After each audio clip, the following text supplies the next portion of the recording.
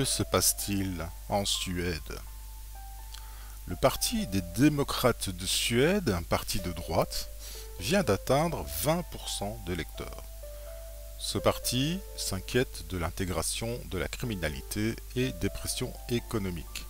Il a été fondé en 1988. C'était un parti marginal à tendance d'extrême droite. Puis en 2005, le nouveau chef a éloigné le parti des lignes extrémistes en devenant plus populiste, en particulier sur l'immigration. Son score historique fait de lui le deuxième plus grand parti, et cela influence fortement la politique globale du pays. Ce changement a attiré de plus en plus d'électeurs suédois. Un grand nombre de Suédois estiment que l'immigration massive et non intégrée a nuit à leur pays. Par ailleurs, les écoles ont trop d'élèves, les hôpitaux sont surchargés et il n'y a pas assez de logements. Historiquement, la Suède était le pays le plus accueillant et le plus généreux face à l'immigration. En 2015, ils ont reçu 160 000 demandeurs d'asile, majoritairement musulmans, alors que la population du pays actuellement compte 11 millions d'habitants. Aujourd'hui, une personne sur cinq est née à l'étranger.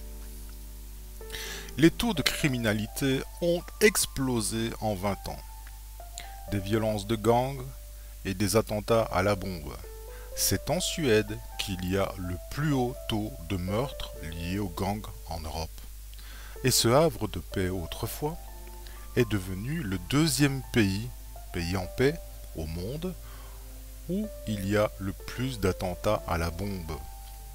L'âge moyen des criminels est très bas. Des enfants de 13-14 ans sont arrêtés pour meurtre. De nombreuses banlieues sont devenues des zones de non-droit que même la police évite.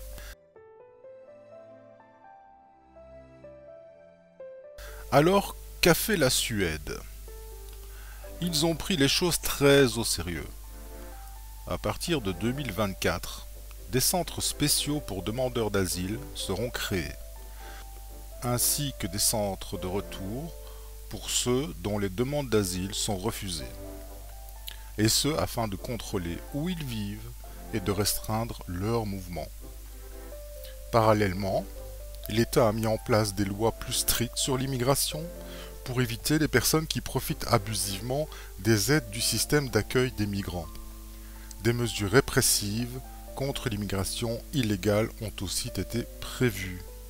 Ceci a déjà contribué à diminuer fortement le nombre de demandes d'asile, en centralisant le processus d'asile et en donnant la priorité au retour efficace, la Suède vise à établir un système migratoire durable et équitable.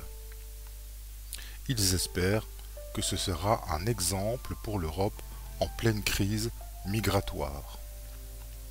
Alors une petite parenthèse, si nous comparons avec la Belgique où 35% de la population est née à l'étranger, le taux de criminalité très alarmant, 60% des crimes et délits sont commis par des étrangers, surtout dans les villes, un taux élevé d'étrangers inactifs, le refus généralisé d'une communauté musulmane de s'intégrer au pays et à la culture belge, cette immigration coûte environ 8,5 milliards d'euros aux Belges. Et aucun politique au pouvoir n'en parle jamais, ni même les médias ou les journaux. Tout est passé sous silence et la majorité des habitants pensent que tout va bien.